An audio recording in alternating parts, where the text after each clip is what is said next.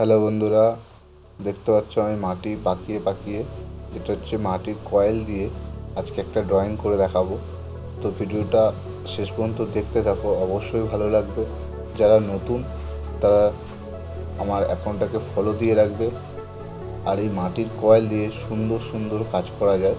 তো আজকের যে কাজটা আমি করছি, একটা গণেশের ড্রয়িং করব। তো ভিডিওটা দেখতে থাকো লাস্ট পর্যন্ত। আর এই ধরনের ভিডিও পেতে অবশ্যই আমার অ্যাকাউন্টটাকে ফলো দিয়ে রাখবে। দেখো, প্রথমে আমরা গণেশের মুকুটটা কীভাবে বানিয়ে নিচ্ছি কয়েল দিয়ে দিয়ে। তো এটাকে আমরা যদি এই শেপে শুকনো হওয়ার পরে আমরা পুড়িয়ে নিই, এটা নিয়ে আমরা যে কোনো ওয়ালে আমরা অ্যাড করতে পারব। তো তোমরা ভিডিওটা লাস্ট পর্যন্ত দেখো। বন্ধুরা ভিডিওটা ভালো লাগলে লাইক করবেন শেয়ার করবেন লাইক করলে মোটিভেট হই ভিডিও বানাতে ভালো লাগে।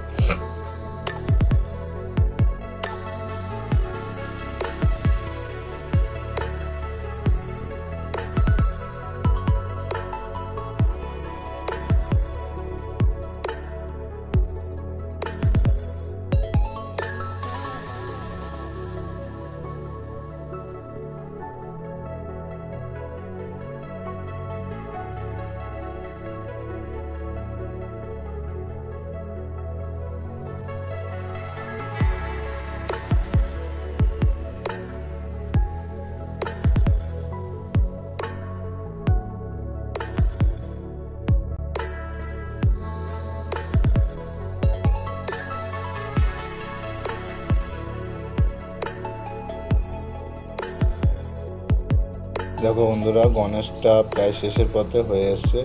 এই গণেশটা কমপ্লিট বন্ধুরা, তোমরা সবাই ভালো থাকবেন, সুস্থ